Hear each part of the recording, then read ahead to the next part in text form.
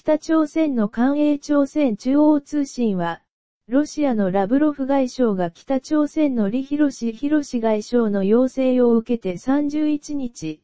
平壌に到着したとこの日、報道した。通信はラブロフ外相が金正恩国務委員長に会うのかどうかなど、訪朝日程については追加で言及はしなかった。ロシア外相の北朝鮮訪問は2009年以降、初めてだ。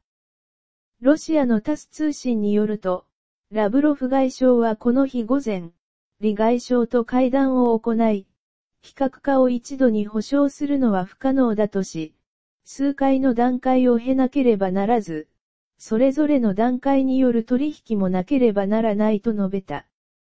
また北朝鮮の核問題について、制裁が解かれるまでに、